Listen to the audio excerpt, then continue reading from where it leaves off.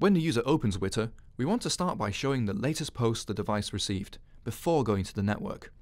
Then we make the WebSocket connection, and we start receiving new posts one by one. When we receive these posts, we want to display them, of course, but also we want to add them to the set of posts we already have stored. We also want to remove entries that are too old to be worth keeping. A database is the best model for this.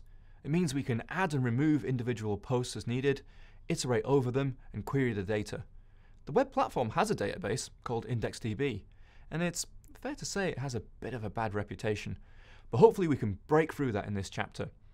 Now we're not going to touch our service worker script for a bit, we're going to concentrate on learning IDB's shape and how it ticks. Then we'll integrate it into our whole offline first experience. If you've used NoSQL databases before, IDB will seem kind of familiar. If you've only used relational databases before, this might seem a, a little weird.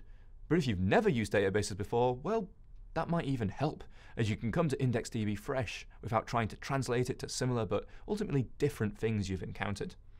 First up, here's the shape of IndexedDB databases. With IndexedDB, you can have multiple databases with whatever name you give them, but we're only going to be creating one, Generally, you'll only have one database per app. That database contains multiple object stores, generally one for each kind of thing you want to store.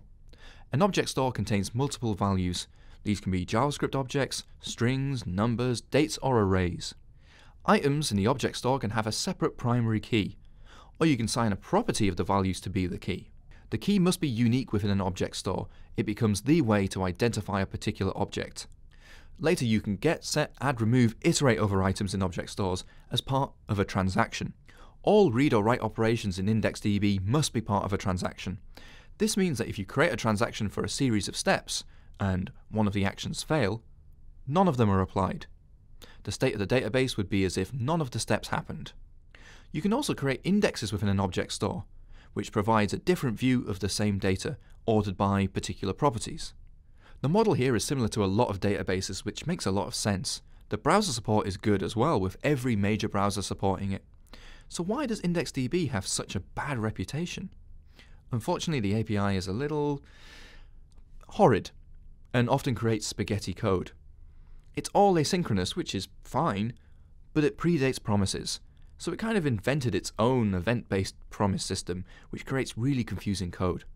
Now, I'm a true believer in teaching the web platform rather than libraries, but IDB's API is so clumsy, I'm, I'm going to chicken out of doing that. We're going to use IndexedDB Promised. This is a really small library that mirrors the IndexedDB API, but uses promises rather than events.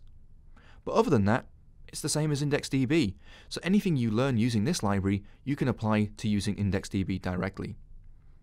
In fact, if you want to spoil your day really early, feel free to avoid the library and write IndexedDB code directly. But all the examples will be using the library. In the next chapter, we'll take a look at how you'd create a real-life index database in the browser.